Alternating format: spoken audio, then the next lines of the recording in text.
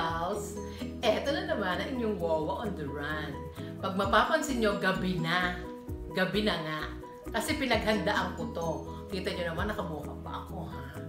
Ang pag-uusapan natin ngayon ay tungkol sa aming mga oldies but goodies. So, ano ba ang title ng ating uh, episode for tonight?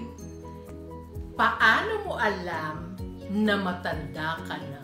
Oh God. Okay. So, ang first, number one. Ito nga pala, I did a survey. I surveyed 100 oldest. Uh, mostly mga classmates ko, nakasikidad ko rin, at saka yung mga mas majujonda pa sa amin. Kasi I'm just 41. Eh, sabi nila, life begins at 60.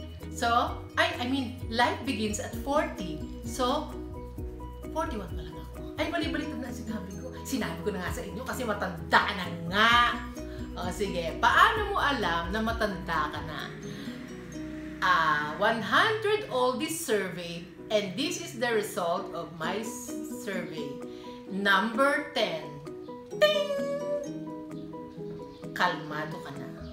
Kung nung una, ang uh, ang tarus-tarus mo, mataray ka, ngayon hindi na.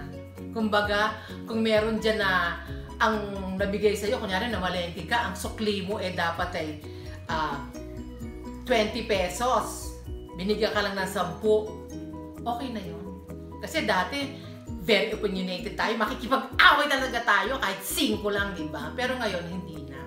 Wala ka nang pakialam kung may naglalabanan dyan sa mga harapan mo wala ka ng pangke. Kalmadong kalmado ka. May nagsasaksakan man dyan, wala ka ng pangke. Number 8. Ay, number 9. Sinabi ko sa inyo, majonda na talaga ako. Number 9. Ting!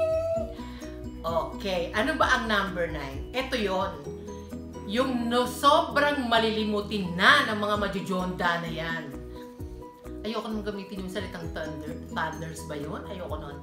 Sobrang malilimutin. Halimbawa, may kukunin ka sa baba ng bahay mo. O, o kaya iinom ka ng gamot, nandun yung gamot mo. Ngayon, uh, pagpunta mo doon, nakita mo, marumi ang bahay. So, ang ginawa mo, nagwalis-walis ka muna.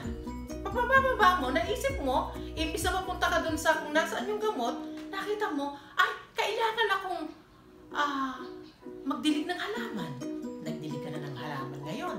Tapos nakita mo yung alaga mong fuse? O, nung makita mo yung pusa, nilandi-landi mo. Yan, kung ano-anong ginawa mo. Up to that time, nalimutan mo na. Iinom ka pala ng gamot. Yon, nangyayari talaga yun sa mga majuchonta. So, number ano na tayo ngayon sa aking survey? Number 8. Ting! Sorry ha, hindi pa kasi ako high-tech si Wawa, kaya yan ang mga tunog ko. Ting! Sarili ko rin. Number 8 marami ng masakit sa katawan. My God! Tewang ko ba kahit na ayaw mo, pagising mo sa umaga, parang may firecracker. Nag, yung mga buto mo, ayun o, oh, lumabutok na, naglalabutukan. Ang hirap gumising, masasakit ang lahat. Masakit ang tuhod, masakit ang siko, lahat masakit. Kaya kailangan uminom ng, ano ba yun? Pain reliever. Ganyan na. Kahit ayaw mo, sumasakit ang katawan mo. Ang mga buto mo, lagutok na ng lagutok. Ewan ko ba kung anong ibig sabihin noon. Okay. So ngayon, uh, according to my survey, number 7. Ting! Ano yun? Diyos ko, Lord, hindi ko matanggap yun.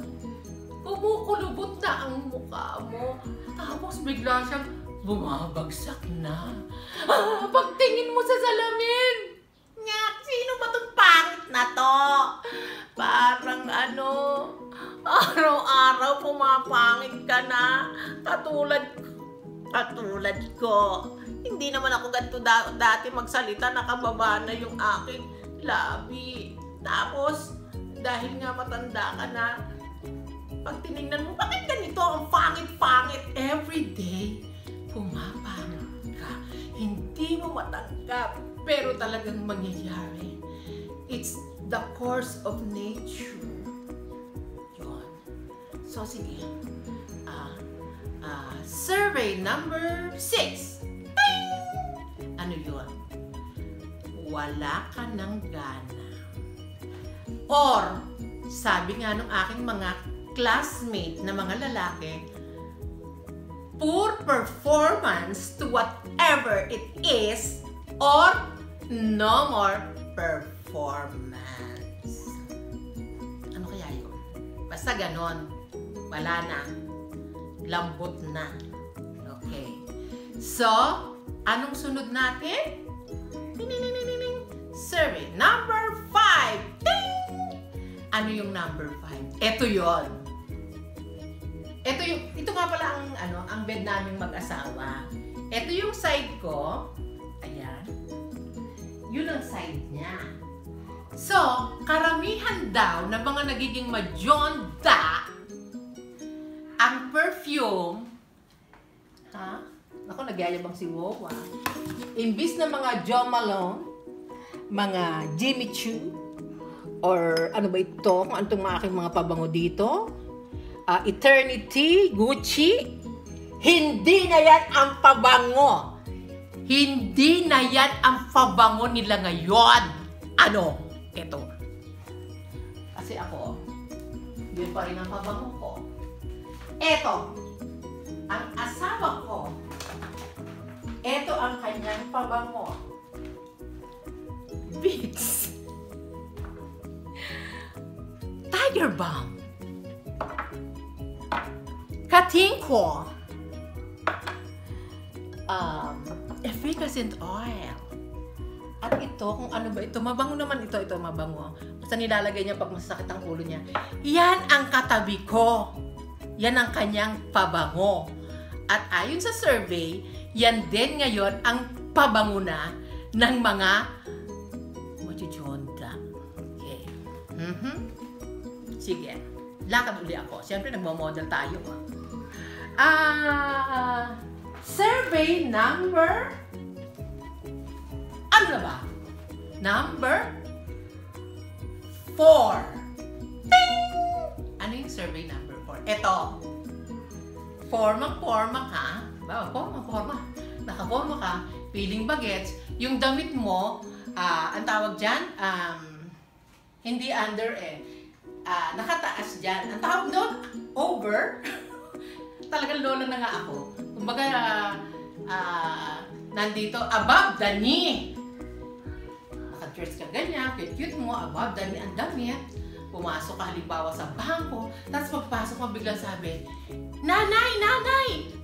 Sino yun? Yung pala ikaw. So yun na ang tawag sa atin. Nanay, manang, impo, lolo, lola.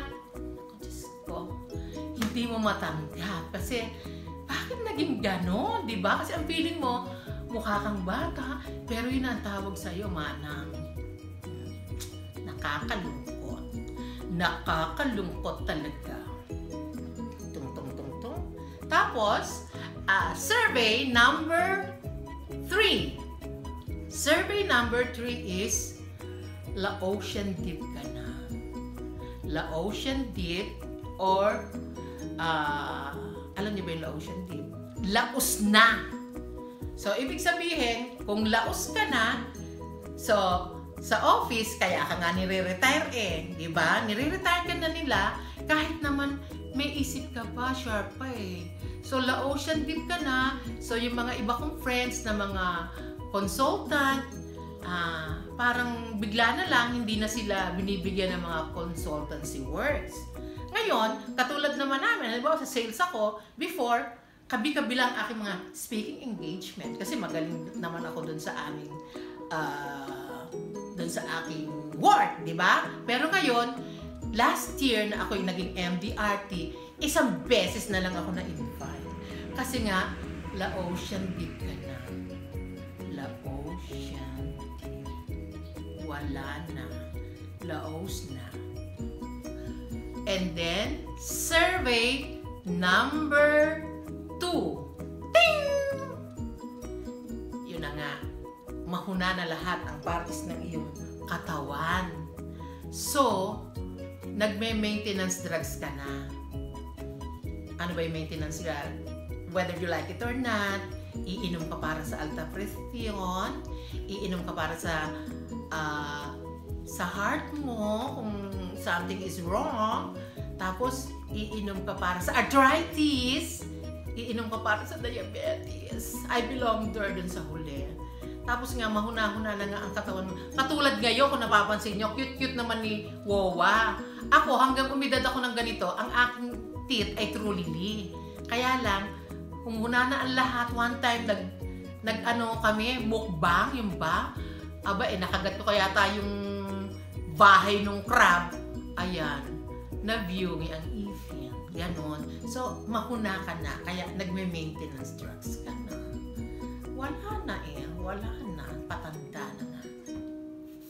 And then, sa survey ko, ang number one, ito, ang daming rebelde. Sabi nila, age is just a number. Pero ang puso, bata pa. Yay! Yun ang mga gusto ko. At doon ako nakabilong. We defy old age. Kaya nga, tingnan nyo ako, ang dami kong moisturizer dyan. Ba, ba, ba, ba, ba, ba, ba, ba, ba. Lagay, lagay ko lahat sa mukha ko yan. Tok, tok, tok, tok, tok, tok. Mga moisturizer, hindi ba?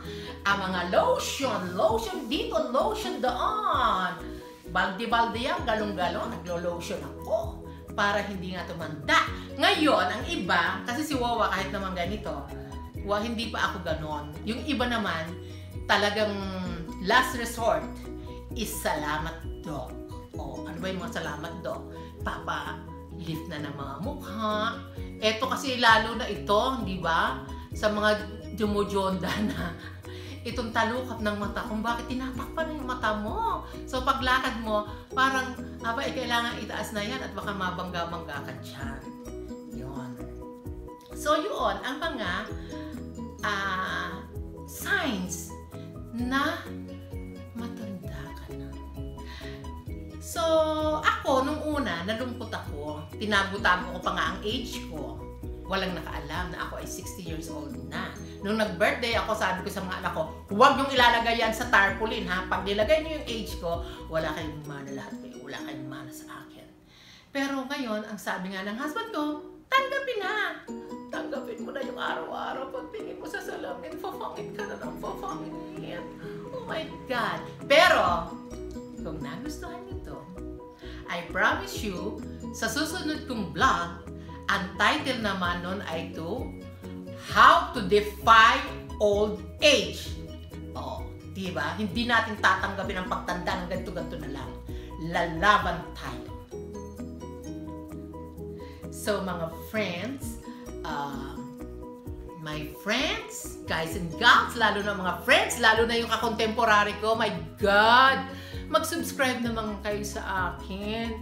Ang sasabihin ng mga wowa at wowo sa akin, I want to subscribe to you, my friend. But the problem is, I don't know how to make a Gmail account. Hindi kayo marunong gumawa ng Gmail account. Eh, hindi ka usapin nga mga apo nyo at igawa kayo. Abay, kailangan na ako ng maraming subscribers because nung makita-kita ko yung analytics ng itong aking YouTube, ay 70% ng aking audience ay kayo. Watch lang ng watch ang mga katulad ko. Wala namang Gmail account. Eh, paano tayo niyan? I am your representative. Huwag tayo magpatalo sa mga millennials. Kaya sige na, tawagin na mga apo at magpagawa na kayo ng inyong Gmail account. At doon naman sa mga apo namin na nanonood ngayon at mga anak, please subscribe to WOWA. Alam niyo na, pandemic, may magpasaya naman sa inyong isang wawa dito na lokaloka. Hindi ba? So, subscribe and uh, push the notification button para alam nyo naman na meron pa akong mga susunod na vlog. Sabi ko nga sa inyo, ang next vlog ko is how to defy old age. Okay, yun lang. Be happy. Bye!